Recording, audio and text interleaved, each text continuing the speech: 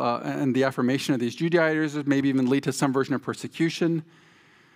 And so the only way they would be able to overcome that was, as Paul says, to live by faith.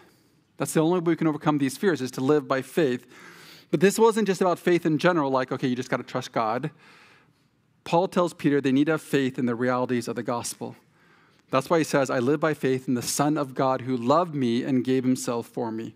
He's referring to the truths of the gospel. And this is why the verse is kind of structured the way that it is, right? The first half is the gospel. The second half is an encouragement to live by faith in the truths of that gospel. So first he says, I've been crucified with Christ. It's no longer I who live, but Christ who lives in me. That, that, that's a description of what the gospel does. That's the beauty of our new life in Christ. And understand that is our reality, whether or not we believe it. The gospel is our world. So to fully experience all the blessings of that, we need to have faith in that reality. And that's why he says in the second half of the verse, In the life I now live in the flesh, I live by faith in the Son of God who loved me and gave himself for me. So right away, we see the gospel for everyday life. Paul doesn't say, I've been crucified with Christ, so now I'm forgiven. I've been crucified with Christ, so now I get to go to heaven. He says, I've been crucified with Christ, so the life I now live in the flesh, I live by faith. So, do you kind of see the bigger picture? If we're going to overcome our fear of man, we need to live by faith in the realities of the gospel. And our passage gives us two particular focuses our justification and Christ's love, right? And so let's dive into those two, two in particular. So, two ideas. First, A, we live by faith that Christ justifies us. We are who God declares us to be. Now, we'll spend more, more, more time on this idea. We'll come back to that second point, love, next week. We'll touch on it some today, but if you get a little nervous when we get through this, we're like, wow, this is, this is going long. Um, we're going to spend most of our time here. But let me ask you, what is your justification? By that I mean, what would make your life right? What, what, what would say that you're good in some way?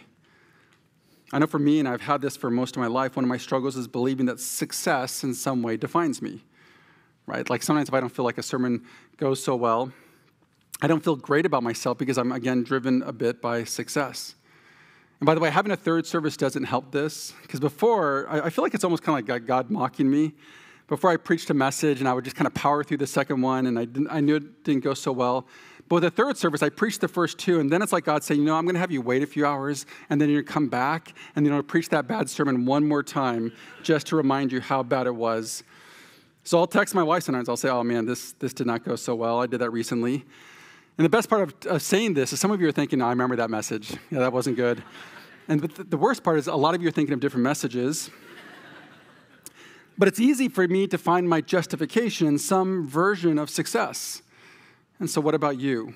Where do you find your justification? Now, we start here with justification because this is really the larger focus of the passage. When we say we need to live by faith uh, that Christ died for us, he's leaning into the gospel that he's really been expounding upon for verse after verse. And specifically, Paul has been talking about our justification. Uh, verse 16 of chapter 2, he says, Yet we know that a person is not justified by works of the law, but through faith in Jesus Christ, so that we also have believed in, G- in Christ Jesus in order to be justified by faith in Christ and not by works of the law, because by works of the law, no one will be justified. Okay, so what is justification? It's the idea of God declaring that we are righteous. So, don't, so understand this. Remember that the gospel says that we're all sinners. And because our sin is rebellion against the holy and righteous one who created us, we're facing just judgment. So in our sin, we are unholy and we are unrighteous, and, and, and we're in this broken relationship with our holy and our righteous God. And there's nothing we can do about this, right? No matter of obedience, like carrying out the Old Testament law, can fix this. Our sin condemns us. It declares that we are sinners and should be judged. But the gospel tells us that all is not lost, right? Uh, because of the hope we have in Christ. He came to live the life that we weren't able to, and then he went to the cross to suffer the punishment that we deserve on our behalf, right? So, so Jesus was credited with our sin and, and punished for it while we were credited with Christ's righteousness and accepted as sons and daughters of our Heavenly Father. And this is why Paul says that he, what he does in our text. He says, I've been crucified with Christ. It's no longer I who live, but Christ who lives in me. James Boice writes this. He says, This means to be so united to Christ that all the experiences of Christ becoming, become the Christian's experiences. Thus, his death for sin was the believer's death. His resurrection was, in one sense, the believer's resurrection. So, justification, then, in particular, has to do with God's declaration that a person is righteous through belief and trust in the work of, of Christ. So, it's not that we are righteous on our own, but God is willing to declare us righteous through the work of Jesus. Okay, so how does this tie into our fear of man and the idolatry of people? It's this if, if we don't find our justification in the gospel, we're going to seek it elsewhere. Specifically, we will turn to our idols to give us what we need to be right. In other words, if you don't feel, if, if I don't feel I'm right with God based on the work of Christ, I'm simply going to seek to be right in some other way. And often we seek that from people. We want them to declare that we are right. That's why we want approval and pleasure and success and admiration and love. Why we believe people have this ability. We, we might say they get to declare it. And that's why people's opinions matter so much to us. Again, if I don't rest in who God declares me to be, I will seek for someone in this world to declare me to be right and good. And so we give people the right to declare who we are. Right? Don't we love when they say, through word or deed, you're special? You're right, you're beautiful, you're my friend, you have such potential, I want to be with you. And conversely, we hate when they declare in some way, you're, we're not right. You're a failure, you're wrong, you're unattractive, you're not my friend, you're hopeless, I don't want to be with you. And importantly, it's not just words, but it's deeds. For example, if I text you and you never text me back, that might say something about our relationship. Or imagine without a word said that there is a difference if I, if I forget my wife's birthday versus if I buy her a very thoughtful gift. And you can imagine she sees my actions as declaring is she worthy or lo- of love or not. And the difficulty in all this becomes um, my interpretation because the weight I give to people's declarations. Right? Because the reality is, someone's declaration can have some, if not a lot, of truth, or it can be completely false. Right? Someone can say something about me. Is it true? Is it false? If someone says, I don't want to be your friend, or you're a bad golfer, or you're wrong, these could be very true statements. On the other hand, someone might say, I, I want to be your friend, or you don't love me, or you're such a loser, and those can be completely false statements. In other words, people's declarations can be true or false, and it becomes more muddled because regardless of the veracity of the declarations, I'm interpreting them and I'm giving weight to them. So if a friend says, I'm too busy to hang out, I can interpret that a lot of ways. So maybe they, they really are too busy, but I think they don't want to be my friend. So again, it gets convoluted in that I'm, I'm trying to figure out what people are saying about me. So, for example, someone doesn't answer my text, my spouse makes a weight comment, I don't get invited to an event, I miss out on that promotion, no one thanks me after serving in ministry, a friend makes a joke about my kid. I'm interpreting what those mean and what they say about me. And again, with these interpretations, I give weight to them. I, I might not care, or I might really care about, about what someone says. Um, so, what someone says about us has to do with the weight that I give to it. When I was young, for instance, you didn't want to be a nerd, right? That, that was like a, you don't, you want to, but now there's such a thing, right, as nerd culture. People seem to really lean into that. In fact, I, there was a conference recently that I saw. It was called Nerd Culture Ministry Summit. And I thought that's so good. Like, I really wanted to go to. I just wanted to know. Um, the, the tagline was building bridges between church culture and nerd culture by equipping ministry leaders to better love their nerdy neighbors. So I was like, oh man, I, I didn't get to go. I think it wasn't, it wasn't close to us. But the, the first keynote, it says, State of the Union, welcome to the quantum realm. So I was like, oh man. Uh, another keynote was nerd ministry in your church, tangible steps, steps you can take. So um, I wanted to be there for that. Um, for some of you, you don't want to be a nerd. Some of you, you fully embrace it. The question is, do you give way to that? right? If you called me a bad golfer, I don't really, I don't really care. I would totally agree with you. I'm not offended. Uh, I'll proceed to make fun of myself. But if you said something like, I don't want to be your friend, you can imagine that's going to hurt. I'm going to really start to think through that. Not just what that means about us, but the conclusion of what does that say about me? Like, why am I so wrong uh, that I'm no longer worthy of your friendship? But all this, in, in, in a, it's me in a sense that gives people the power to declare if I'm right or not to let them justify or condemn me.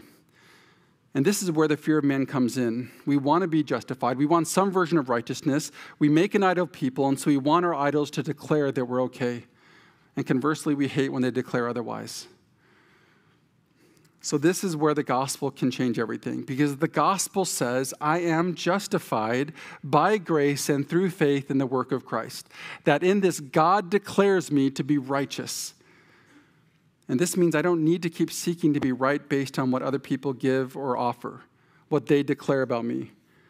Rather, when I face, when I rest in the fact that Christ died for me, my heart can rest.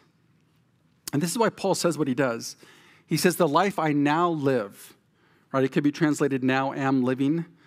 So this isn't talking about simply about, about when he got saved, but he's talking about this moment, each moment, which is again why he says in the flesh, right? So again, this isn't just a theological consideration, but how he lives his life. The life I am now living in the flesh, I live by faith in the Son of God who loved me and gave himself for me, gave himself for me. Paul is telling Peter that he's supposed to live every day by faith that Jesus gave himself for him. He's supposed to live out of his justification. Now, hopefully, at least in theory, this makes sense, right? I'm, I'm, tempted because of the inward bent of my heart to look to people for my justification, to look to people to be right in some way. The belief being that if people declare me to be right through their approval or admiration or affection or acceptance or whatever it is, I will be right. I'll be okay. I'll be happy. So instead, I need to turn to the gospel, to trust in the justification of Christ having faith in the fact that God declares me righteous through the work of Jesus on the cross. But practically, how do we live out of the reality of the gospel or our justification? Because it's, it's, it's on, uh, let's be honest, it's great that God justifies us, but still it really hurts when a friend fails us. It feels horrible when people look down upon us. It feels so lonely when someone ignores us. What do we do in those moments? Because God's justification often seems so vague and intangible. I think importantly, we have to meditate on the better justification we find in Christ and guard against meditating on the justification we find in others. Now, that may seem equally vague and intangible. Like, so what do I mean by meditate? Meditate simply means to think deeply about something. Christian meditation is to think deeply about biblical truth. But what we have to realize, as I've shared before, is the problem isn't that meditation is missing, it's just misdirected. In other words, we have to realize all of us meditate, all of us think deeply about things. And what this means is the danger isn't that we wouldn't meditate. The danger is that we would, rather than meditate on biblical truth, we would meditate on something else. So, in our particular focus, the danger is that I focus more on pe- what people declare me to be rather than on what God declares me to be. What do you think about? Like when you're just driving, when you've had that conversation with a friend, what are you dwelling upon? Now we take this from Colossians 3 2, when Paul says, Set your mind on things that are above, not on things that are of earth. And then he goes on to say in verse 5, he says, Put to death what is earthly in you. Things like evil desire, covetousness, anger, malice, and slander. In other words, if we set our mind on things of earth, we don't put to death what is earthly in us, we give it life. Do you see the picture? I mean, think about it. Our idols are dead. They're powerless. As Psalm 115, 5 and 6 say, they have mouths but do not speak, eyes but do not see, they have ears but do not hear, noses but do not smell. And as Christians, those are supposed to be dead to us. Paul says, I've been crucified with Christ. It's no longer I who live. This is the power of the gospel. That, that former self, with its only sinful bent, is dead, and with it should be our faith in the things of this world.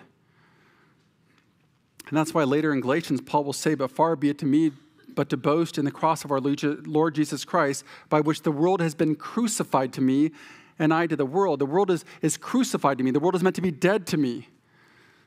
So, where's the problem? If our idols are dead, if I have this new life, what's the problem? It's that we give our idols life. How? Through meditation. Again, think of Colossians. When we set our mind on things above, we put to death what is earthly in us. When we set our mind on things on earth, we give them life. So we meditate on what we want from others. We perform this spiritual CRP, uh, CPR that resurrects our idols. They're, they're like zombies, still dead, but animated and bent on destruction. And in giving them life, we also give them power. And I think this starts to make sense of our problem. The reason we're so easily conv- we so easily convince ourselves that we need something from others is because of where we set our mind. We're giving life to our idols, and they own us. So, for example, as we scroll through Instagram and we see how amazing looking people are, or supposedly are, it's easy to believe that we need to look a certain way, weigh a certain amount, dress a certain style to fit in, to be, to be well liked, to be justified. And really, it is an exercise in meditation. And then often people spend hours and hours thinking about what the world says is attractive. And so, though it only matters what God declares us to be, through meditation, we give life to our idols and we give them the power to declare our worthiness based on our weight, our complexion, our height, or every other worldly metric. Or maybe you want to share your faith with someone, you want to invite them to church, but the minute you start to think about it, your mind races. And you play out all the different scenarios of how things will go poorly, how they'll judge you, how foolish you will look, how you'll stumble, stumble to answer questions. And so, though it only matters what God declares you to be, through meditation, we give life to our idols and we give them the power to declare that our worthiness is based on what other people think of our beliefs. Or maybe it's about a significant other, and you think and you dream about what it would be like to have a romantic relationship. And more than it would be nice, pretty soon, through meditation, you feel like you don't just want it, you need it. So, again, though it only matters what God declares us to be, through meditation, we give life to our idols and we give them the power to declare of how we can only be happy in a romantic relationship. And without one, it says something about us, like our worthiness. Through it, we might even question the goodness of God because He seemingly withheld it. Or maybe it's some version of success. And so you fantasize about what people will think about you if you, you get into that school, or you hit the game winning shot, or you drive that car, or you have that job title. And pretty soon, through meditation, you convince yourself that your worth is tied to the admiration of others. And so, though only matters what God declares us to be, we give life to our idols and we give them the power to declare that our identity is tied to success. And with these in mind, doesn't it make sense of why we struggle to rest in the gospel? Like we just spend so much time thinking about and dwelling upon and really meditating on what we think we need from people that, that, that, will, we, that eventually we give life to idols, and pretty soon we're convinced that if we're going to be right and happy, it comes from what we get from others. So, how can we meditate on the truth of the gospel instead of our idolatry? I think it starts with just guarding against misdirected meditation that we just discussed. Like, I know for me, one of the first things I have to do is just refuse to set my mind on things on earth and constantly be guarding against seeking my justification in others, feeling I need them to declare that I'm right or good. So, for example, if I do feel that bent towards success, or I'm worried about a tough conversation, or I'm discouraged in preaching, or I'm jealous over what people have, I have to remind myself that I'm seeking in others what I'm meant to find in Christ. That picture has to be clear to me, otherwise, I won't even realize I'm doing it.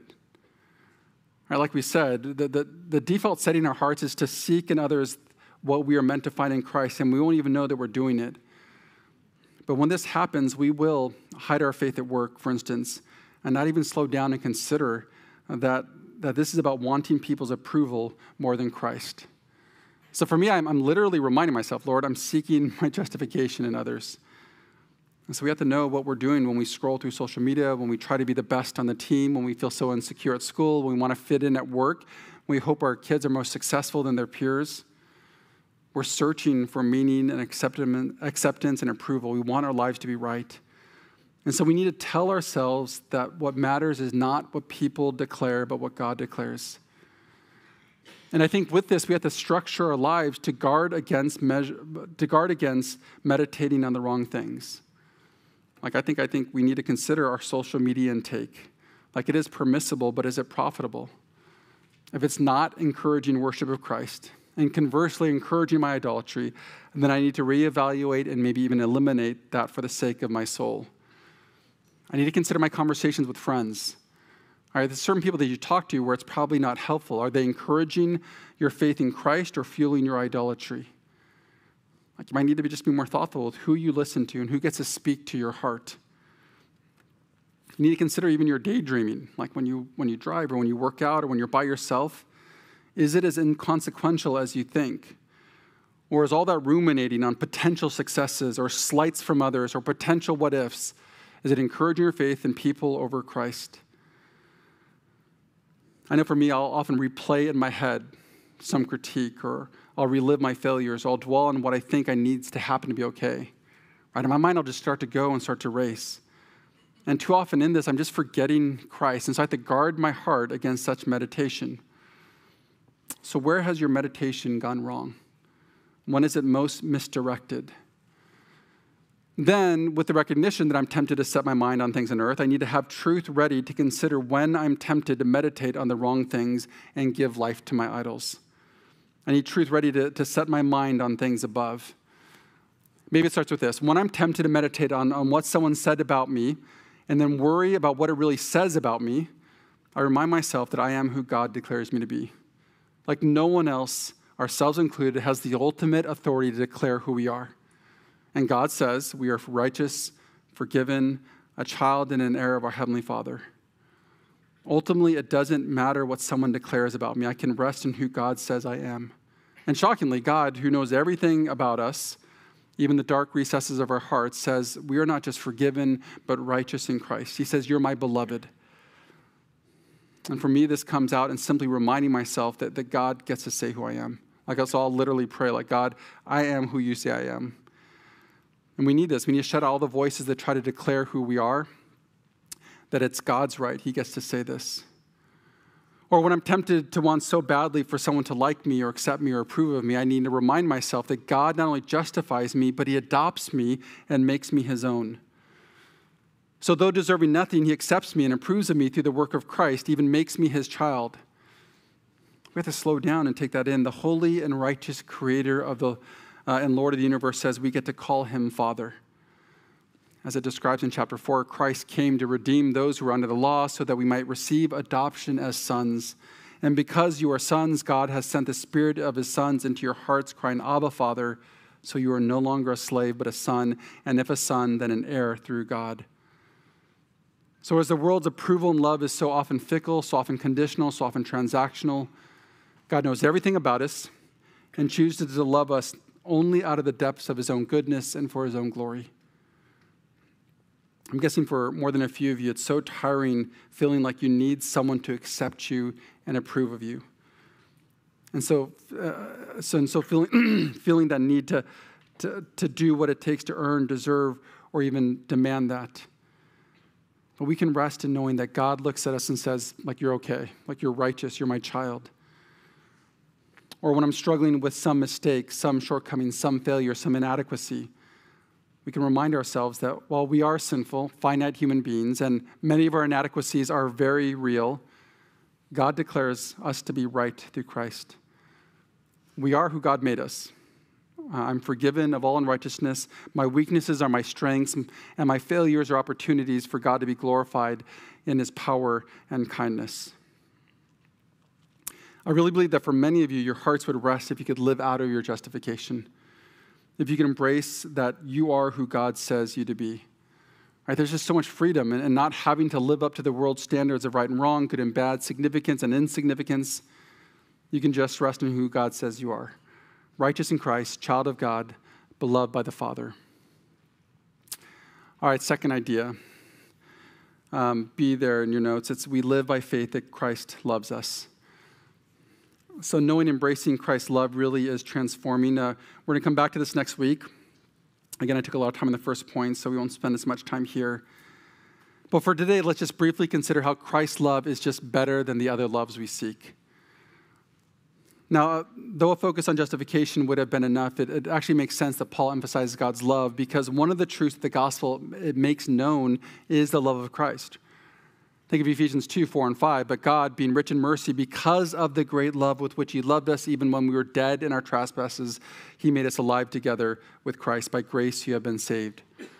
Romans 5 8. But God shows His love for us in that while we were still sinners, Christ died for us. The idea being the gospel preaches God's love, and we're supposed to hear that and embrace that through faith. The love of God is meant to be one of the most transforming and comforting truths we believe in and the realities that we live in. What is important for us to realize is that the love of God is both unique and superior to every other love. in other words, it's not just love in general we need, we need Christ's love. Because our temptation is to substitute the love of Christ for more earthly loves. Right? I, I think most of us understand the longing to be loved we want someone to think we're meaningful, we, are we're important, we have value, we're worthy in some way. And so we crave some version of love, but what we fail to realize is that so often our desire to be loved is because we so deeply and passionately love ourselves. And because we love ourselves, we desire significance and affection and affirmation, among other things. We long for those things that we believe will give our life meaning and that will make us happy, that will bring some measure of contentment. And in this love for ourselves, we'll pursue earthly loves that we feel will give us what we want. And similar to the previous point, we will meditate on those things and we will set our mind on the things of earth. So we'll think deeply about how we want our bosses to, to commend us, our, our friends to like us, our spouse to admire us, our ministries to need us, our teammates to think well of us. We think and think and think about receiving some version of love. And after enough meditation, we give life to what is earthly in us. We resurrect our idols, we give them life and power. And when our wishes are rooted in misdirected worship, then our wants become needs and our desires become demands. And yet we have to remember that our idols are dead. They're false saviors. And so, even if they bring moments of happiness or contentment, in the end, they will always fail us. We'll experience people's love that is transactional, right? Only willing to love us when we offer something. We'll experience people's love that is dangerous, actually moving us away from Christ. We'll experience people's love that is conditional, only willing to love when, they, when we are worthy. We'll experience people's love that is limited, like regardless of how much people hope for us, they can only do so much as finite beings. In the end, idols will always reveal the reality that they are false saviors, offering a damaged and at times dangerous love. And so, practically, we have to meditate on the love of Christ so that we would understand that love and embrace that love. Remember, this is Paul's prayer for us in Ephesians 3.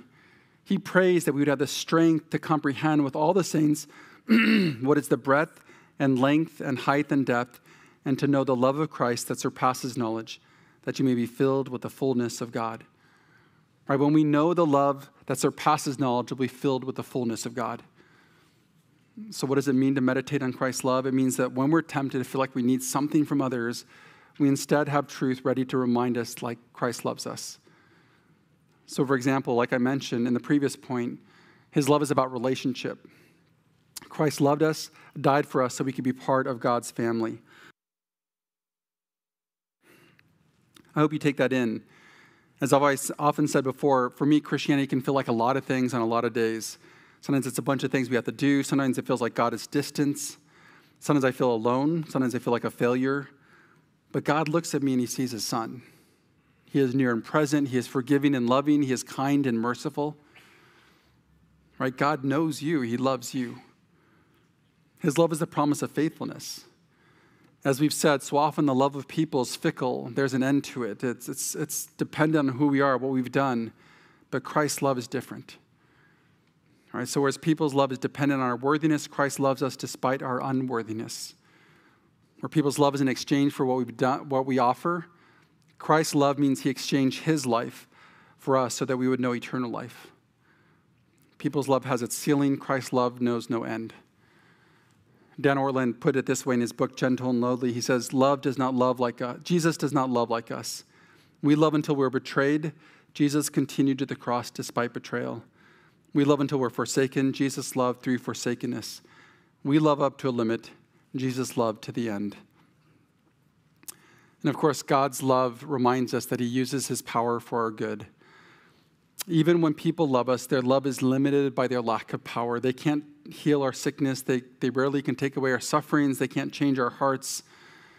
But the love of Christ is active and powerful, constantly pursuing our good. I know for me, the love of Christ is the truth I remind myself of the most. Like just going through the week, that's the one I think about the most. As we'll discuss next week, his love is meant to be the lens through which our world comes into focus.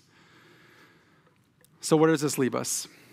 We find victory over our people pleasing by living by faith in the truths of the gospel. We live every moment, every day, out of the reality that Jesus loved us and died for us.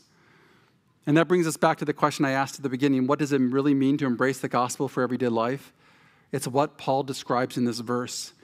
It means the gospel, in the gospel, Christ justifies us and he loves us. And so we have to live each moment out of those realities. So, to embrace the gospel for everyday life means I live by faith that Jesus loved me and died for me. now, next Sunday, we'll revisit some of these truths In particular, we'll celebrate, as we celebrate the gospel, we'll consider what it means that we actually all live by faith. The question is, what do we live by faith in? I think it'll be a good service to invite unbelieving friends and family to. Uh, if you're nervous about that, then you can re listen to the last couple of messages and hopefully overcome that. As we close, can I give you a moment to reflect on what we studied? I think it'd be good to take a moment to repent of your misdirected worship, to consider the ways you're setting your mind on things of earth, how you're tempted to see people uh, as a God that offers some version of salvation. But then take time to consider the gospel, what it means that Christ, that, that God justifies you in Christ, that He declares you're right and that's who you are. Believe that if you, you live every day out of that reality, it will change everything. So let's take a moment and reflect on that, and then I'll close our time in prayer.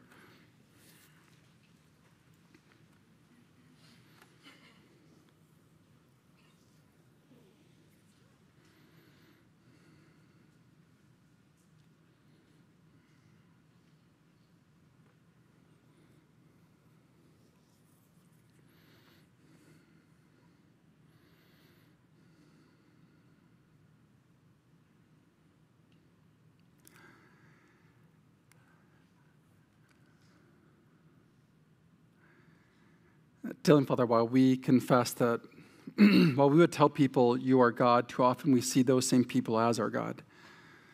We long for people to love us, we to declare that we're right and good, and so forgive us of that idolatry. We pray, Lord, that you'll impress upon our hearts the truths of the gospel. Help us to know and believe that you are the one who gets to say who we are. And thank you, Lord, that in Christ you declare us to be righteous. And so give us the grace we need uh, to live every day, every moment out of the reality that Jesus loves us and he died for us. We thank you, Lord, for your kindness. We pray this in Jesus' name. Amen. I invite you to please rise and let's sing of the freedom we have from the fear of man and that uh, into the identity and hope that we have in Christ.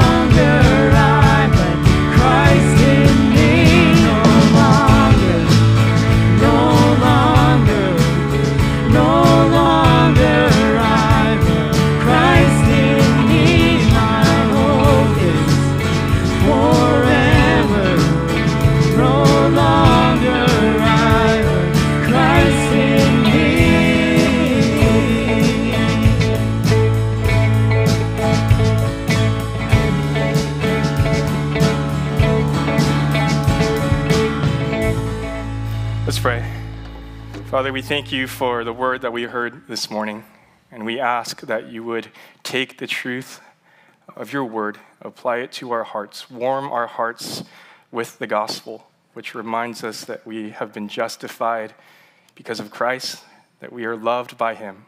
And uh, remind us of that so that we might understand ourselves rightly and love others rightly. We pray this in Jesus' name. Amen. You can go ahead and take a seat.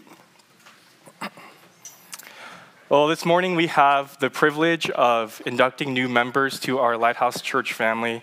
And so if you're here, you're, if you're one of those new members, I invite you to go ahead and uh, start to make your way onto stage behind me.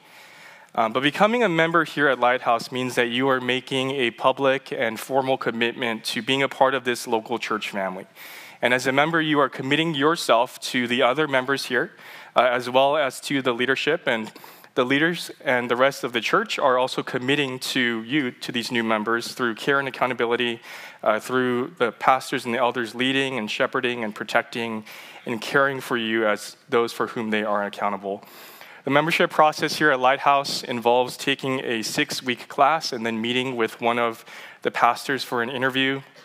And today we are glad to welcome a total of 28 uh, new members. And in this service, we have 10 of them uh, with us. And I know that these membership inductions can maybe feel like uh, graduation. You know, like we read their names and we should have them walk across the stage and like shake Pastor Kim's hand. But probably a more fitting analogy isn't really a graduation, but it's a wedding. And I know that sounds kind of weird, but at a wedding, uh, there are promises made. Right? And even as a friend or a family member or a guest, you are also taking part, you're committing yourself uh, to helping them fulfill what they've just promised. And so, in a similar way, as we witness these new members make these promises and, and, and they join this church family today, uh, for the rest of us, if you are a member here, may you also be reminded of the co- commitments that you made when you joined this church family. And may we be eager to commit ourselves to them, to, to come alongside them, to love and serve and play a part in their discipleship. And so, uh, let me read the names of the new members here with us. I'm going to move over here. And then uh, when I read your name, if you don't mind just waving so we kind of know uh, who you are. And then after that, we're actually going to read the membership covenant together, and, and we'll make the commitments together. Uh, and so first is Carrie Akiyama, Cecilia Aquino, Mina Bloom, Jessica Choi, Daniel Gima, Timothy Lau, Alicia Miller, Jordan Miller, Philip O'Connor, and then Lindsay Yoshiba.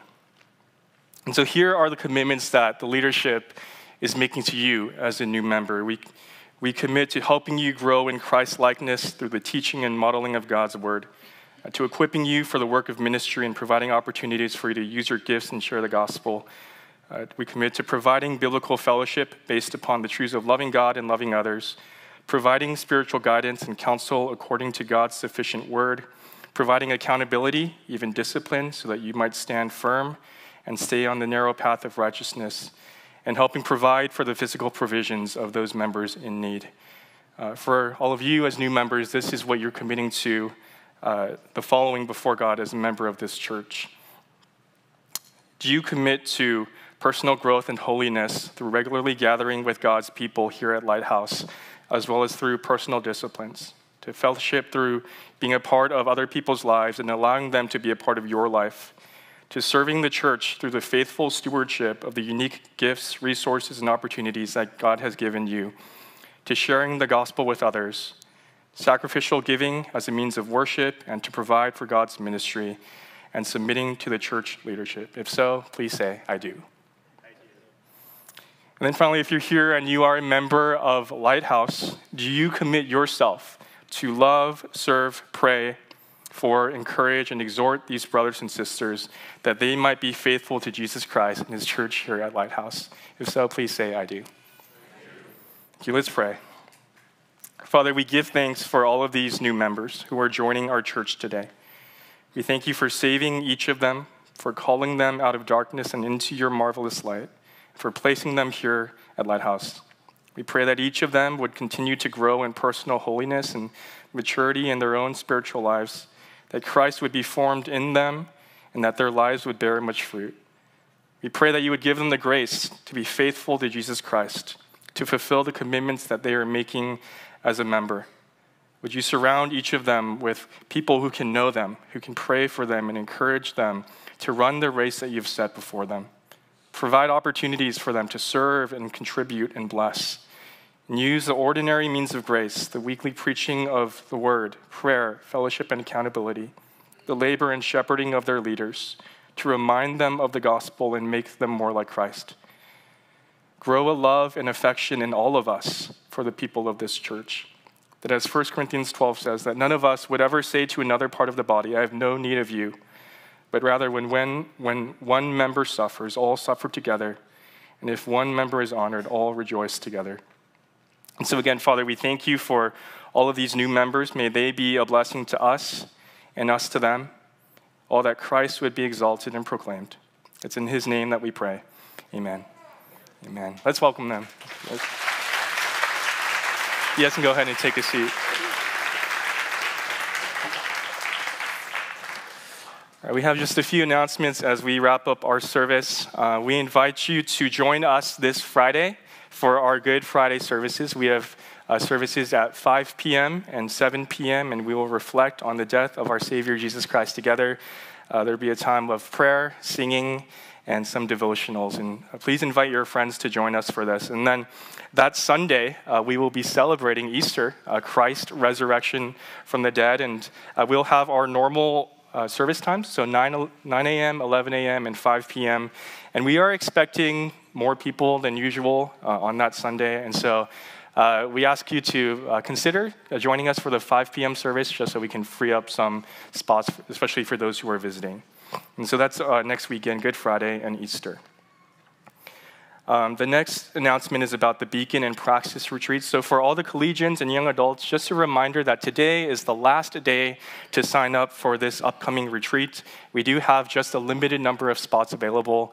Um, the retreat's April 12th to 14th at Pali. And so, if that's your age group, um, please consider joining us, but today's the last day to sign up for that. And then lastly, uh, this is just a save the date announcement, but we're excited to do another Exiles conference this summer. Um, this conference will be geared towards our young people, so junior high, high school, um, college students are welcome as well. Uh, and this conference will help equip them uh, to wisely and biblically navigate through some of the cultural and practical issues that they might be facing today. And so save the date for that, July 12th to 13th. All right, let me send you out with the benediction. This is from 1 Thessalonians 3.